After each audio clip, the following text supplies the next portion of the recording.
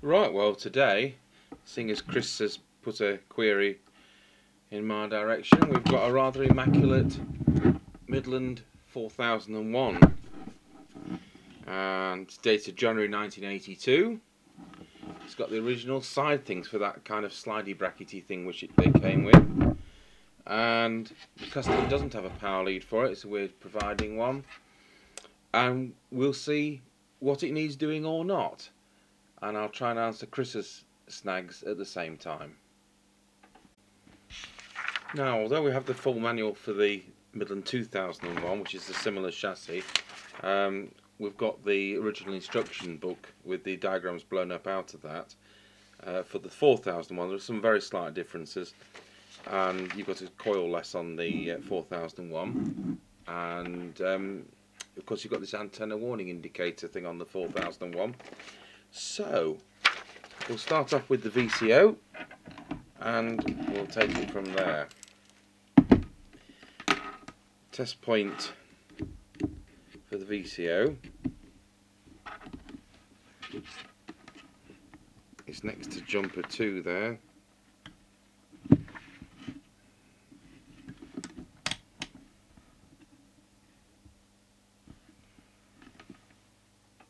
And just like on the Max Commander the other day, my test prod doesn't go deeply enough down to actually locate the test point.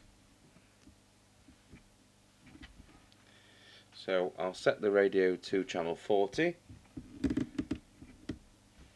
and we're looking for two and a half volts. Oh no, it's not channel 40, it's channel 1 on these. Ah, glad I looked at that again. And it's uh, two and a half volts on the test point. So I've just got to locate it the other side of the board now. Which is easier said than done.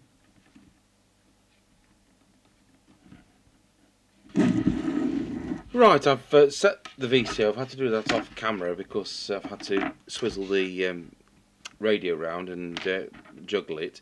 Um, so that's now checked it uh, if you need to adjust this it's um, coil 116 there and in this radio's case it's still sealed with wax. What I have had to do off camera uh, behind the scenes is that the microphone uh, there was no audio going through the microphone which as you can see is the factory original one. And I thought is it a broken lead? No it's not. The switch was so dirty so I've used the Servisol switch cleaner stripped the microphone down put it back together and uh, proved that the radio works in PA mode um, which is always a good test for a microphone. Testing one, two Wallow. So um, there you go. So we'll pop that now back into there and we'll proceed with the transmitter. So clearly that's one snag which it's coming for repair for. No transmitted audio. The other snag, as I said, hadn't got a power lead for it. So just zoom in a bit.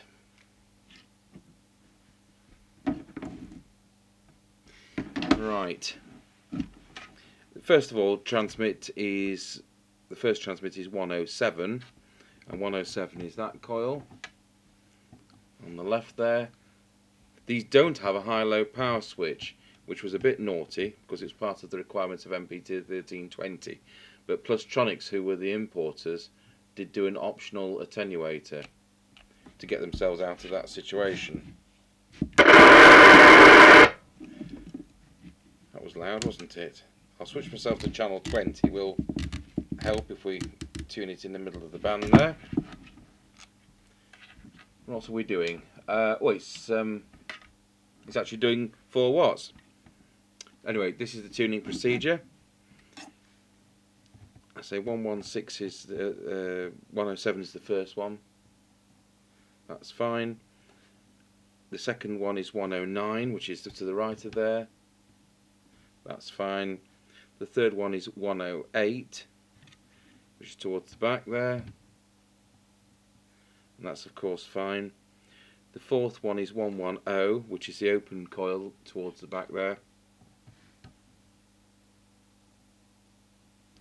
And that's fine. The next one is filled with wax and is I've used the yellow tool for but with this radio working properly as it is I'm not going to disturb that so that's the that would have been the next one and the final one which is I will disturb is um, It'll come to me. It's 115. I will disturb that because I just want to make sure that it's just that little fraction more than what it is. At the moment it's kind of 3.95 watts so may as well give them their money there we have it at 4 that's lovely so that's the transmitter tuned up now. Chris has problems uh, with his transmitter. So you line up, you're going to check the VCO. So remember it's uh, number 1, number 2, number 3, 110 is the next one, 111 and finally 115. Of course if any of them got broken cores they need replacing because that could be his snag. Now you said you've checked the output transistor. In this one's case it's a 2SC 2078. For those of you who don't know, the transistors often just say C278. It means 2SC278. And the driver, just check you've got the right driver. In this one's case, uh, Chris, it's a 2SC, is it 2314 in these? Yes, it is. It's a 2SC2314 on the driver transistor. So just make sure that one's correct as well. So 2SC2314, 2SC2078. If they've been messed about with, then you know what the score is. And that's what my set looks like at the bottom. My set, my customer's set.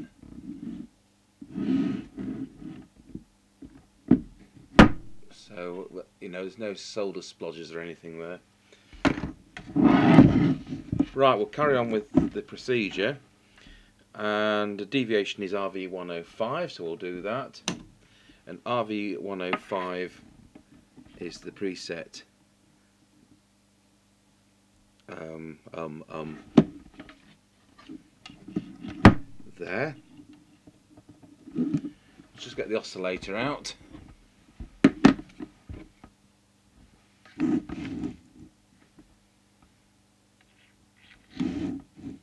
centralize that on the camera so you can see what I'm doing.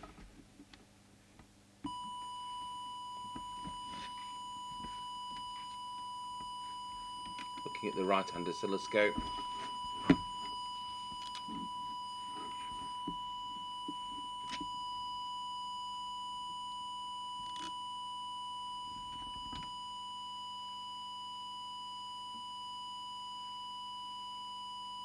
Hmm.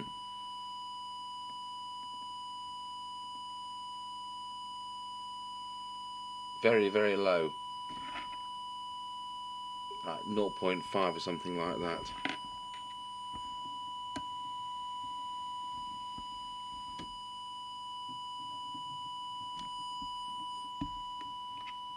See how that goes now with the whistle test.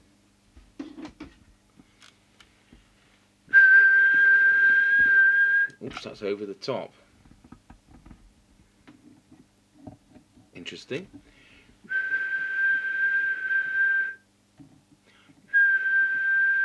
I'm just going to listen to it on a monitor receiver. I've got a realistic um, one of those by my side as a monitor. Testing one, two, Warlow. Testing one, two, three, four, five. Yep, that sounds absolutely fine. I'll just try it once again. Warlow, Warlow. Yep, great. Turn that camera off. So that was really low. So the deviation was only 0.5 and there's no transmitted audio coming from the mic till I sorted that out. So no wonder it's coming for service work, but come on, it's 30 years old. Next we'll just check that I can't do low power because it doesn't have low power, so the only thing that's left is to do the RF power meter on the front of the set. That should of course read 4 watts.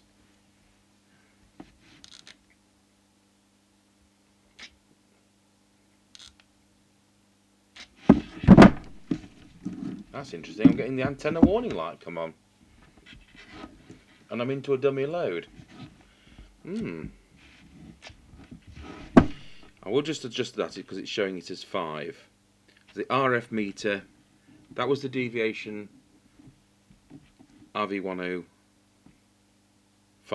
and the RF meter is RV103 just behind it. So we'll just turn that down a fraction.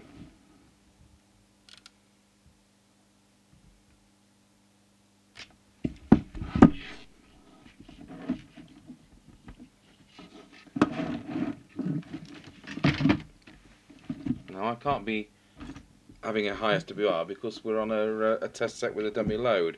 So I presume we need to set the um, antenna warning indicator. I've never had to adjust one of these before, so it's. I presume we adjust it till the light goes out on a dummy load. Yeah, it certainly seems that way. I think the control's are a little dirty, so we'll just give it a quick uh, Servisol spray. I'll just wind it round carefully a few times. Yes, that's the light's extinguished having cleaned that. What I'm going to do, I'm going to do something very, very naughty. I'm going to just unplug the aerial because at the moment you've got the TX light and the antenna warning indicator. I'm just going to unplug that for one fraction of a second and it doesn't come on. That's uh, really useful.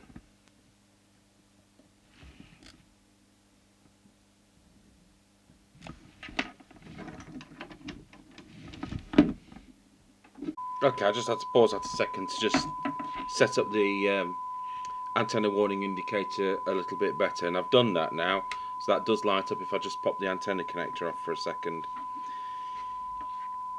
So, oh, we just need to set the frequency, make sure that's right. It should be 27.79125 on channel 20, which is where we are. So, it is the trimmer capacitor, I think it's 204, which is the red one down there. Let's just check that. 2779082, so it's dropped with age, which is what you expect.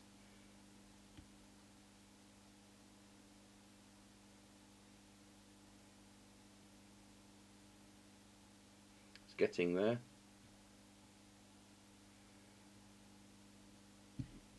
Yep, that's 2779125. So that concludes the transmitter.